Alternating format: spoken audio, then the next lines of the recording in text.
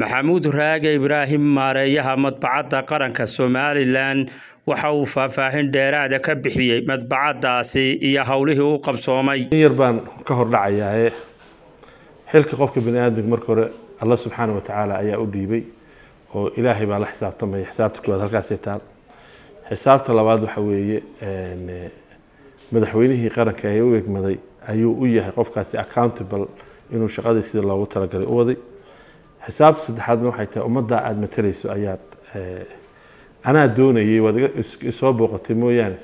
Anaa doonayay inaan shantii sano ee aan ahaa guddoomiye ugu muddada dheeraa ee madbacadda qaranka inaan u wanqalo wanaag iyo khasaare iyo faa-iido dalkan waxay u keentay inta anugu mas'uuliyaddahay haddaan se in yaroo kooban kaa idhaahdo waxaa kugu filan horto shan madax shan bilars baan u kala qaadayaa hay'ad sideedaba markay shaqo gelayso waxa ugu weyn inay hay'addaas hesho waxa weeye hay'addu waa inay leedahay xeer iyo sharci ay ku shaqayso. Status waa inay leedahay ay ku shaqayso oo ku halgasho ood qaranka ugu shaqayso oo legitimate loo aqoonsan yahay. Hay'addan maxamed ibraahim cigaal baa aasaasay laakiin weligeed waxay ku shaqeynaysay xeer madaxweyne xeer madaxweyne. Xeerkii madaxweyne u horeeyey cigaal baa ku aasaasay. Daahir yaalana taas ayuu ku sii shaqeeyey. Xeer labaad haddana waxaa u sameeyey maxamed ibraahim muxuu ahaa axmed maxamed maxamuud siinaanyo xeer saddexaadoo very stronga waxaa u sameeyey madaxweyne muuse bixi cabdi. twentygii xeerkaas ayaa horta ugu muhiimsanaa. Anuu markaan shaqada soo galayba mahmaahdayda waxay ahayd meel dunsan oo aada dhisto ayaa ka fiican meel dhisan oo kugu dunta. Khudbadaydaad ka heli doontaa. Meeshani waxay ahayd meel dunsan xeerkaas ayaan ka bilaabay shaqada horta markoo inaan u sameeyo. Mar labaad waxaan idhi meeshani dee awood capacity daabacaad ma leedahay. Waxaa ii soo baxday inaanay lahayn toddoba mashiin baa yaalay waxba ma daabici karin mashiinadu janis bay ahaayeen. Waxaa ku soo ururtay keliya inay daabacdo foojarada dowladaha hoose iyo dowladda dhexe. Wixii kale ee loo yaqaanay mashaariicda qiimaha lacageed leh waa laga wada wareejiyey xukuumadihii iska kala dambeeya ka wareejiyey waxay noqotay meel yaroo foojarada residiska dowladaha hoose u daabacda. Waxaana looga wareejiyey waa awood darro ku timid daabacaadii xaggii capacity-ga. Madaxweynaha qaranka somalilan baan u bandhigay in meeshan la dhiso. Madaxweynuhu maalgelin buu u sameeyey one milyana waxaanu gaadhsiinay waxaanu ka soo qaadnay capacity-ga daabacadeed toddoba mashiin maantana wax soddon ka badan baa yaalla qeybo badan bay leedahay oo kala duwan. Qeyb waa digitalka electronicada security-ga waxyaalaha leh lagu daabaa. Qeybna waa offsetka documentiga waaweyn iyo waraaqaha iyo forgereska labaduba maanta. Laba bilood ka hor baa mashiinkii ugu muhiimsanaa baan budgetka dowladda ka soo iibiyey waa over four thousand. Ha aada siduu wax u daabacayo production capacitygeedii kor baan u soo qaadnay. Waxaa dhacay in mashaariicda badankoodu ay lahaayeen contractyo mudane badri oo dad kale oo private ay contract ku jireen. Contractyadooduna uu sanado ay wada muddaysnaayeen markaan wada dalbanay qaarkood oo markaa waa nala siiyey waxaa ka mid ahaa contract waxaa ka mid ahaa bank oo kaleeto jeega wuxuu ka soo daabici jiray abudabey nin qiimo badan baa markaa joogay haddana nin qiimo badan baa jooga. Cali laba nin oo qiimo badan baa nasiibka banka joogay. Calina si fiican buu noola shaqeeya laakiin ibrahim cali cali bakdaadi ayaa noo yimid eegay madbacada isagaana maalgeliyey tijaabiyey wuxuu yihi jeega banka waxaa laga soo daabacaya madbacadda qaranka? Saasaan ula wareegnay.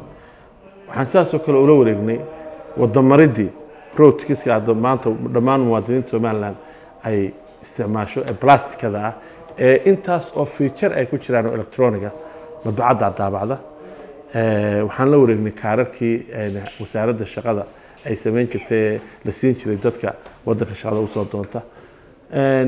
Wax badan baanu la wareegnay. Kuwii horena waan moderaat karayn qaar baanu la wareegi kari weynay. Sababaha keenay waxay ahayd madaxweynuhu wuxuu u guddiga soo celinta hantida qaranka oo wasiira ah. Wasiirada ani kumaan jirin unfortunately kuma jirin. Wasiiradaasi qiimeyn bay sameeyeen waxay garteen inay dadkaa kontraagyadooda ay dhacaan oo waktigii loogu talagalay ee kontraaga laga bridge karayn ay muddadooda dhamaystaan. Way wada dhamaysteen maanta. Iyaguna way wada dhamaysteen. Dhammaan waxaan rajeynayaa inay ku soo wareegayso madbacadda qaranka. Waxaa kuu soo haray qeybta human resourceka ama shaqaalaha. Shaqaalaha dayactirkooda iyo danahooda iyo dhibaatooyinkooda si aan xaddaaf ahayn baan u daryeelaa. Iyaguna wada ogyihiin badanaaba mishaar laguma yeesho madbacadda qaranka. Baankaa damaanad qaaday oo bil walba dibadho ha noqoto laakiin waxaanu soo saarno ayaanu ku bixinaa mishaarkooda. Waxaad ogaataa mudane badri madbacaddu miisaaniyadda qaranka kuma jirto. Kabna ma laha. Shantaas sano mas'uuliyadda ah inay madbacaddu shaqayso oo lacag soo saarto mishaarka shaqaalaha bixisana waa loobinkii anigu aan sameynayay iyo tiimkayga aan sameynaya meel ay qeylo ka soo yeedhay ma jirto. Daabacaadda ilaa sanaag dabadeeda ilaa saylac oo dowlado hoose iyo dowlad dhexe iyo waxooda waa loo daabacaa human resourceka caring gaaraan siiyaa oo ah personal baan ula socdaa shaqaalaha individually dhibaatadooda. Waxay qabaan hadday guursanayaan hadday xanuunsadaan. Waxaan u sameeyey account gaar ah oo loo yaqaan accountka daryeelka shaqaalaha oo iyagu ay lacag ku urursadaan anna waan u kabaa hadduu bil walbana shuruuduu leeyahay ninku markuu shuruudaha soo bixiyo halkaasaa lacagta looga saaraya. Hadduu xanuunsan yahay hadduu wax dhibaato hadduu guursado waa la kabaa wax badan badan baan shaqaalaha qabtay. Waxbarashadooda kor baan u soo qaadnay. Hadda qeybta accountancyga oo dhan dhammaan waxay ku shaqeeyaan mashruuca ay caalamiga ah public finance managementiga ee wasaaradda maaliyaddu samaystay iyo efiska labadaba dhammaan shaqaalaha baan ku tirageliyay dhammaan waxay garanayaan sida loogu shaqeeyo public financial management oo ay wasaaradda maaliyadda leedahay. Awal kumaanaan jirin. Intii anigu aan iman kumaanaan jirin. Waxay ahayd warqad baa wax laysaga qori jiray oo haddii lacag la bixinayo warqad yara baa laysaga qori jiray. De system bay maanta ku jirtaa. Hanti arkayo xisaabaha guud arkayo wasiirka maaliyadda arkayo. Income generationka waa run kor uma soo kicin. Miisaaniyadda aan sanad walba qoranana ma maaj waxaanu ku maaj kari weyne waxay ahayd dee waxaa baqnaa kontraagyada ee dadku haysteen ee maxkamadaha in laysla galay iyo waxaa ahayd dee dowladdii arrintaa way ka istaagtay waktigooda inuu dhacay ugu talagashay waktigooda u dhammaaday madbacad noocee abeen maanta hayna. Daba maanta igu wareysanaysa wuxuu ahaan jiray ilaahay naxariistay oday. Shiikhii imaamka masaajidkii naga soo horjeeda ayaa ayaa deganaan jiray guri baa uga dhisnaan jiray. Halkan aan hadda adig igala wareysanayso. Dee maanta dhismahaasaa ku yaal.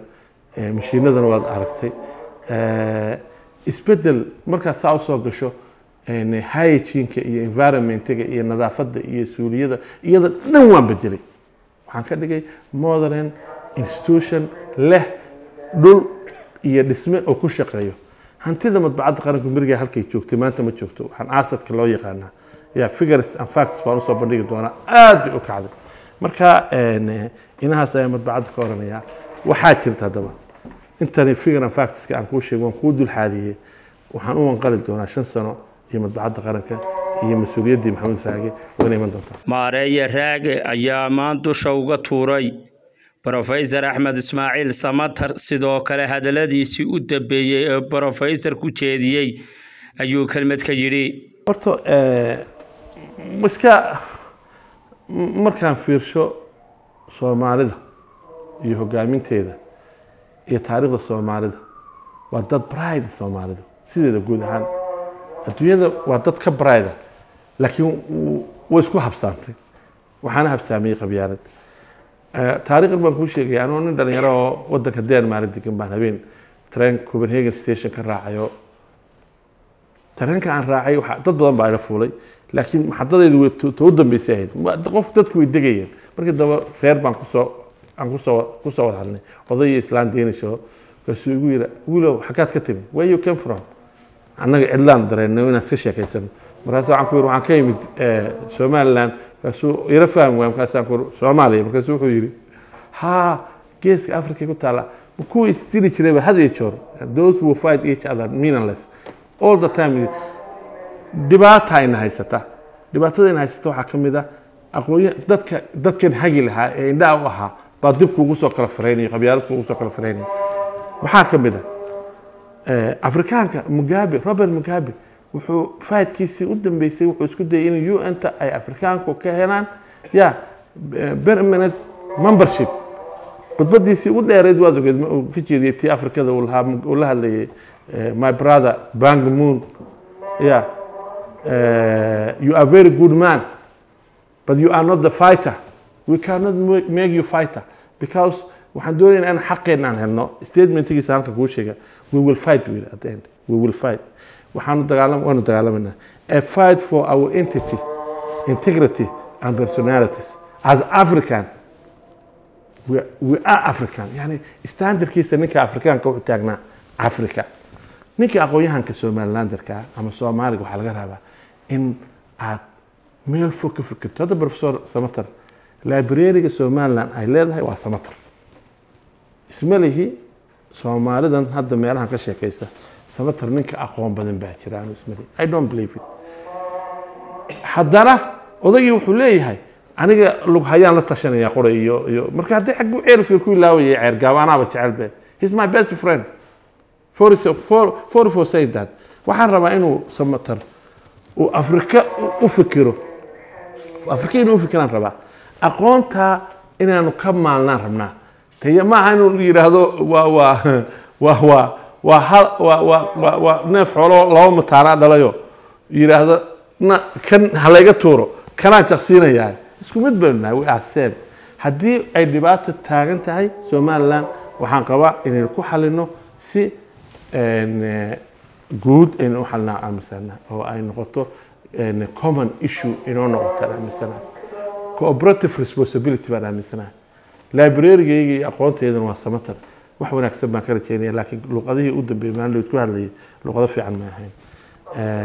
Waxaa kaloo ka mida oo aan doonaya inaan waxyar ka tilmaamo. Garaashahan garaad calimaan jeclay inaan soo qaaday. Oo khudbadaynayaan arkay shalay toole. In adeerkaa ha ku ha ha yaanu kuu muuqanin cadow baan leenahay. Waxaas waa waa dib baynu u soconnay innagoo dhan baa dad afrikaan ah oo soomaali ah oo muslimiin ah walaalo ah. Ma gudubtaynu noqonay soomaali waa ma gudubto. Ilaa cabdullaahi suldaan timcadde aadan xaaji afqaloocu noqo. Waxaan hoosta ku soo xariiqayaa. Haddii ay garaadka oo kaleeto somaliland la yaraatay dee ma ma laba tuulo iyo hal magaalo ayaa noqonaya dal iyo dowlad noqonaya. Tani haddii dowlad noqon weyso waa inay si macquula aynu u fikirnaa waxayna aynu xalashanaa adduunyada waynala yaabtay. Waxaan ku soo gabagabeynayaa oon ugu naseexeynaya ummadda soomaalida inaan iyagun isdabargaabin inaan isdabargoynin ee ay si maskax iyo caqli le maskaxda toojiyaan. Haddii kale waxaa ku dhacaysa dhibaatada maanta haysata carab. Carab tiradeedu waa afar boqol iyo lixdan iyo afar milyan wey israa'iilna waa nine milyan afar boqol iyo lixdan iyo afar milyan ayaa waxaa ka quality badan nine milyan faruu waxba ma ahan. Ee waa caqliga. Aqoon-yahanka soomaaligu si jaamacad kastaa ka soo baxo wuxuu ku soo dhammaanaya tuuladaydaas aan aan difaacaya oo dadka kale ka difaacaya. Marka anigu ilama fiicno maxamuud raage oo aan hordhigay su'aasha sababta uu isagu ugu dheereeyo inuu mar kastaba mucaaradka u jawaabo oo uu xukuumadda difaaco wuxuu ku jawaabay. Horta qarankan waynu wada dhalanay muxuu ahaa maan anoo madbaareeyo madbacad qarankuna ama anoo agaasimo arrimaha dibaddaa soo maray agaasimo cadaaladdaa soo maray. Sinis aan dhalinyaro ahaaba inaan somaliland u dhashay difaaco aanay liicin ayaanu ka shaqaynayn waxaa jira muddo seventeen eighteen years oo aan voluntary service sectorka qeybta aan kaga jiray qeybta humanitarialka ha noqoto jaamacadaha iskuullada waxbarashooyinka cisbitaalada aan ka shaqayn jiray. Kadibna markaan kulmiyo ku soo birna agaasimaan noqday. Marka ma ahan wax title ku xiran. Waa rabitaan iyo jacayl dalkayga aan jecelahay in ummadani aanay ay yeelato nin garbeed difaaca jiritaankooda iyo horumarkooda.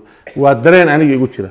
Waa dareen aan habeenkii aanan ka seexan oo haddii wax yar dhacaan aan ka seexan. Marka ma ahan wax siyaasadeede waa dareenkayga fiilinkayga ayaan ku difaaca. Betri kosaar telefishinka sahan hargeysa